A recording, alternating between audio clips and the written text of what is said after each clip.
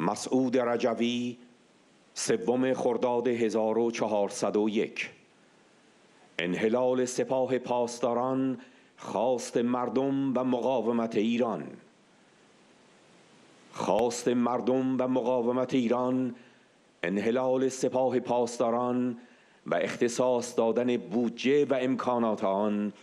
به نیازمندی های مردم فقیر و محروم است که در خط مرگ با گرانی های سرسام آور دست و پنجه نرم می کنند روحانی رئیس جمهور قبلی رژیم می گفت سپاه یکی از ثمرات جنگ هشت ساله بود و در دل جنگ پا گرفت.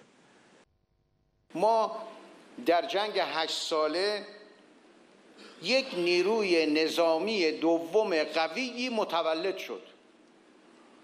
یعنی هشت سال جنگیدیم. یک نوزادی تبدیل شد به یک جوان برومند قوی. ما یه ارتش داشتیم دیگه. تبدیل شد به دو تا ارتش.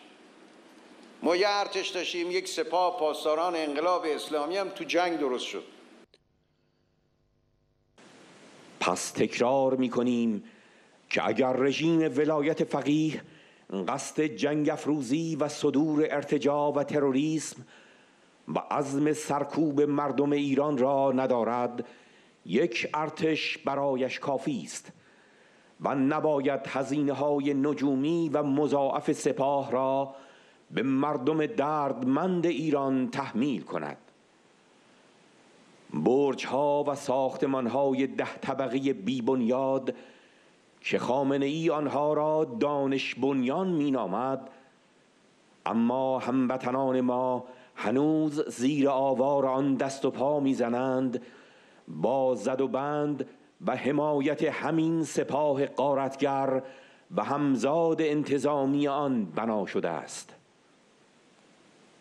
سپاه پاسداران ارگان محوری قهر و سرکوب نظامی و ابزار اصلی حفظ دیکتاتوری دینی است.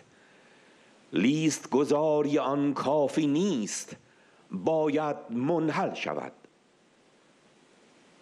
فرزندان ایران با آتش چنین خواهند کرد.